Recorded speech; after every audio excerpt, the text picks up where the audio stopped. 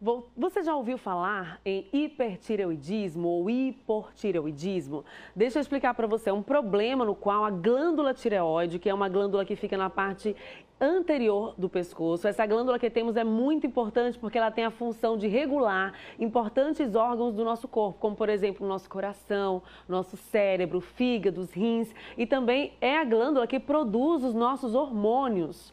Só que quando a tireoide produz hormônios demais, acaba afetando as funções do nosso organismo. Então aí ocorre o hipertireoidismo ou hipotireoidismo também. Estamos recebendo ao vivo o nutrólogo, o Dr. Felipe Passos, para falar sobre isso também sobre dietas. Por que, que muita gente tem dificuldade de emagrecer e o que, que isso possa ter a ver com esse processo de emagrecimento?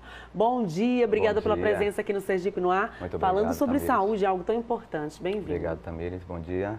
Agradeço em primeira mão a oportunidade de poder vir aqui na TV Atalaia falar sobre assunto muito importante que é os problemas na glândula tireoide. Pronto, agora explica pra gente um pouquinho a diferença entre hipertiroidismo e hiportiroidismo, o que, que é essa disfunção e o que, que isso provoca no organismo das pessoas. Pois bem, Tamires, é, os problemas na tireoide, eles ocorrem, pode ser por conta de um aumento ou uma diminuição na produção dos seus hormônios. Se for um aumento na produção dos hormônios, a patologia dá-se o nome de hipertireoidismo. Se for uma diminuição na produção dos hormônios, dá-se o nome de hipotireoidismo. Uhum. Essas duas patologias podem ocorrer em todas as idades e é importante que se procure um médico para poder dar o diagnóstico precoce e instituir o tratamento quanto antes. Uhum. Essa disfunção, ela atinge, pode chegar a atingir vários órgãos do nosso corpo, né? Sim, sim. É, as doenças da tireoide, por se tratar de uma doença metabólica, ela afeta múltiplos sistemas. Então, ela pode trazer sintomas referentes ao sistema cardiovascular e, portanto, afetar o coração, causando diminuição da frequência cardíaca. Pode afetar também o sistema nervoso central, causando depressão, causando letargia, diminuição do raciocínio. Pode ocasionar também alterações do trato gastrointestinal, provocando constipação, então, assim, por se tratar de uma doença multissistêmica, é importante que os pacientes fiquem atentos para esses sinais e sintomas e procurem o seu médico. Uhum. Em que isso pode interferir na questão do emagrecimento? Porque tem muita gente que faz muitas dietas, fazem Sim. atividade física e não conseguem emagrecer. Então, isso pode ter alguma relação com a tireoide? Sim, claro. É importante que se frise isso.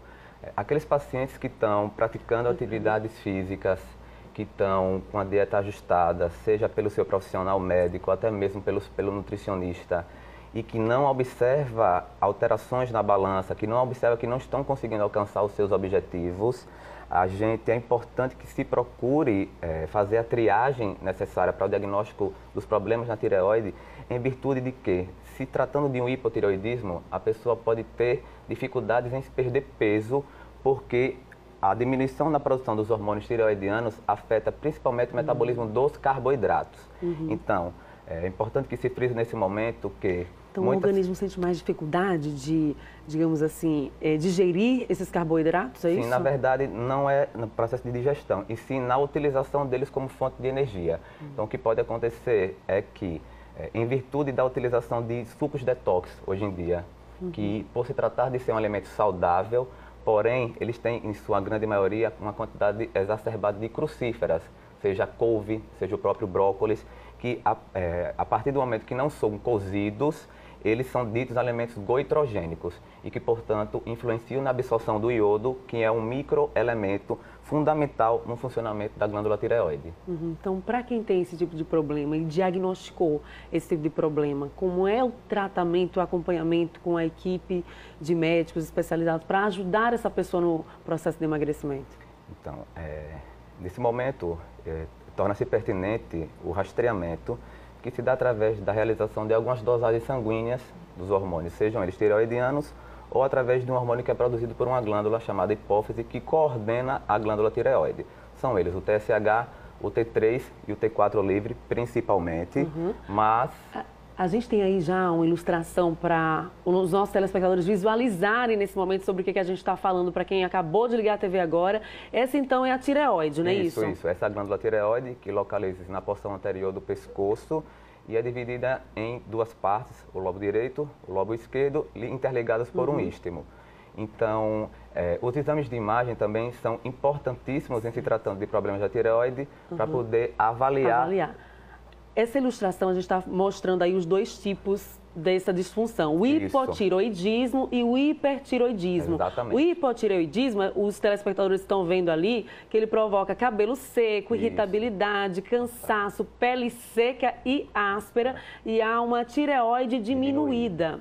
No caso do hipertiroidismo, é, a pessoa tem perda de peso, olhos salientes, uh, pescoço inchado, pescoço muito inchado e a tireoide aumenta. Aumentar, exatamente. É, é, por isso que é imprescindível também no diagnóstico dos problemas da tireoide a realização de exames de imagem, como por exemplo a ultrassonografia da glândula, para se avaliar se essa glândula está aumentada ou diminuída de volume, o que vai corroborar com o diagnóstico do hipo ou do hipertireoidismo. Uhum. Então a pessoa pode perceber esse inchaço assim mesmo, no dia a dia, ela pode perceber que tem alguma sim, coisa sim, inchada? Sim. Esse coisa... inchaço, inclusive, tem um nome, é chamado de bócio e ele pode ser muito bem é, visualizado através da palpação na porção anterior do pescoço, nessa cartilagem que nós temos Sim, aqui. nessa região. Pronto, Sim. vamos mostrar de novo a última ilustração, pedir para a nossa equipe colocar o Carlos Hermínio aí. Essa última ilustração é importante porque ela fala sobre a alimentação, alimentos Isso. que ajudam a regular a tireoide. Sim. Vamos frisar então para os telespectadores esses alimentos?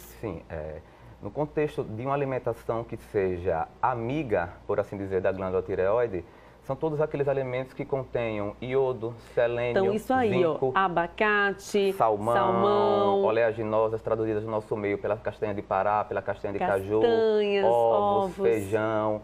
Esses são ditos alimentos amigos da glândula tireoide.